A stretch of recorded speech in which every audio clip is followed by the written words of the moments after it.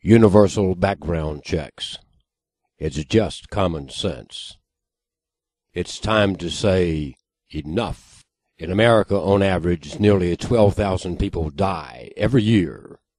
900,000 are arrested each year, and a full one third of those are repeat offenders. It's time to say enough, to end this carnage.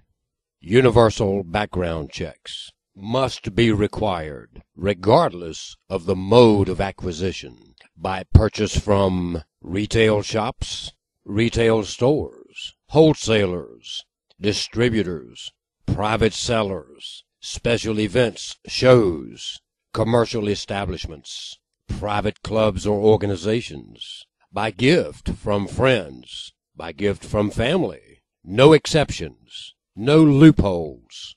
Don't be fooled by opponents claiming lawful use saves lives. Such claims are pure hype. So restrictive effects of universal background checks won't prevent any saving lives through lawful use. So it's just common sense to require a universal background check before anyone can buy or accept as a gift any type of alcoholic beverage. It's time to say enough. View the statistics. The numbers are grim, year in and year out. 2009 was typical.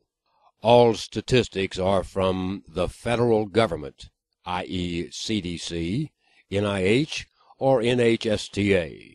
Links to sources are at politicalxray.com slash universal Here's a set of scales for weighing factors for and against universal background check regarding alcohol in 2009. 10,750 DUI deaths. 707,330 DUI injuries.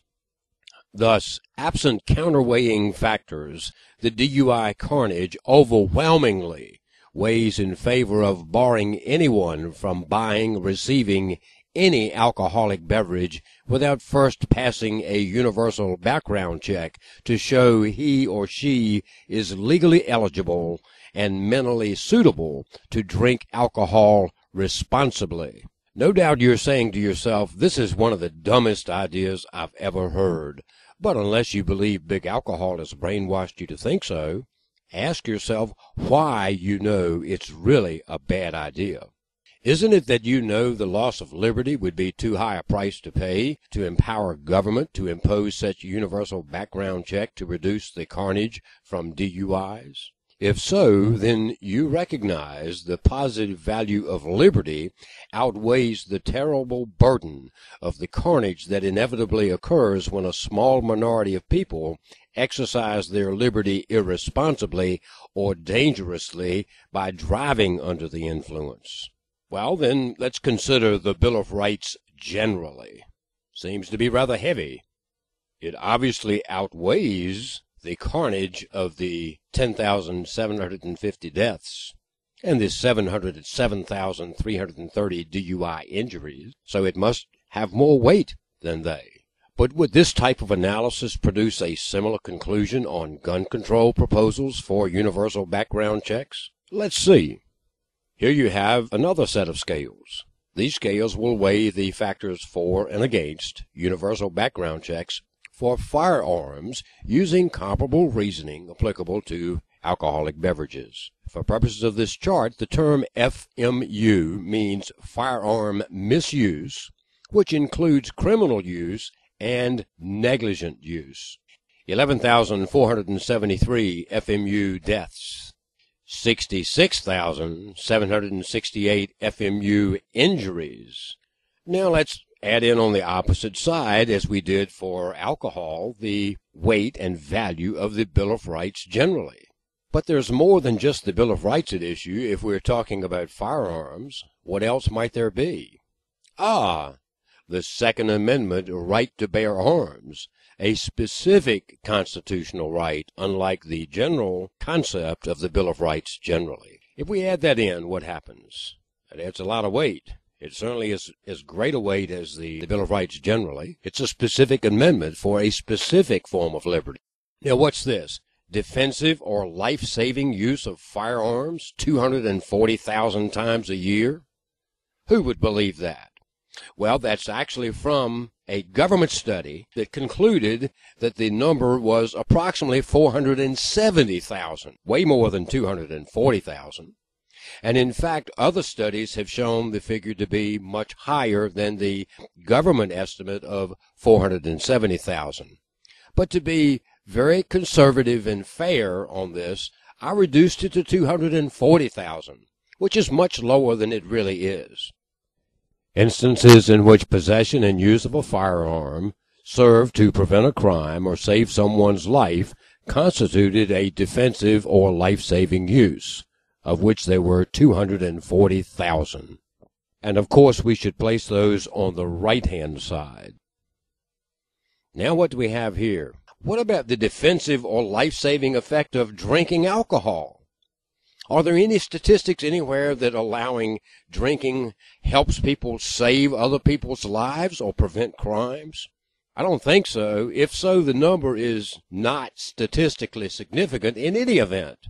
So it's useful to point that out since we're at the point of considering the defensive or life saving use of firearms, which are, without a doubt, established. If we release the braces, look what happens.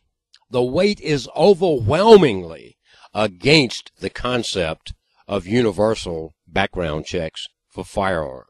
Because to impose such restriction means that no one could acquire a firearm at any time without, at the moment before acquisition, the person would have to undergo a background check. Whether he was receiving it from a relative, a friend, a parent, a son, a daughter, a brother, a sister, a next door neighbor, someone they know to be a trustworthy person, or even one's own spouse, regardless of the circumstances. Honey, thanks for buying me a gun for protection when you're away, but I can't accept it since I'm not certified mentally suitable by the background check board. So I'll just use scissors. You cannot resist this transition. You cannot resist this transition. You cannot resist this transition. It would be necessary to get government permission before transferring a firearm under any circumstance. That's what universal background check really means. We certainly wouldn't do that for alcoholic beverages, but it's obvious the misuse of alcoholic beverages causes far more mayhem every year than firearms. And we would never say every time you want to buy a drink, you have to undergo a background check to see whether or not perhaps just within the last few weeks you had a drunk driving conviction or some other problem. No one would do that.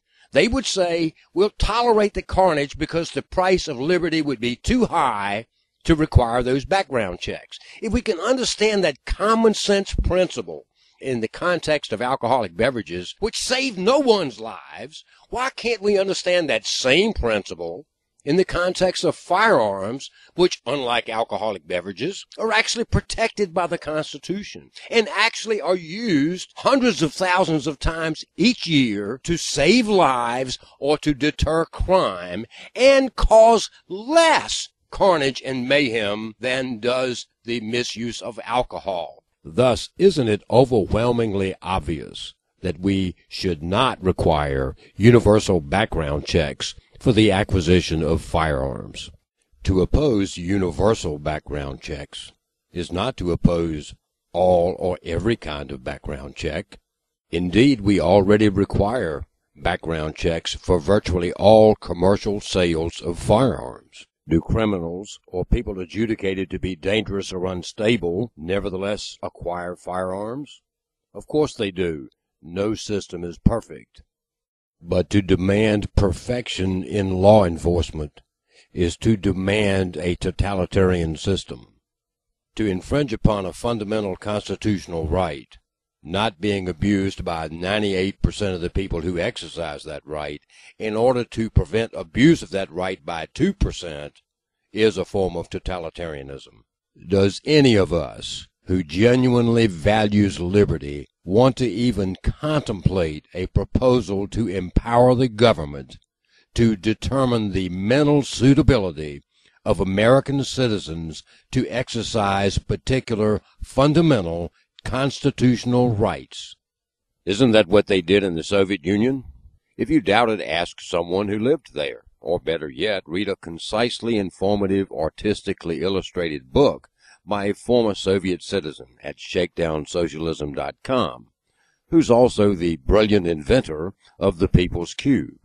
Indeed, wasn't an oppressive relationship between the power of government and a citizen's state of mind an important theme of the movie Minority Report? If we value liberty, shouldn't we resist, not support, such transition?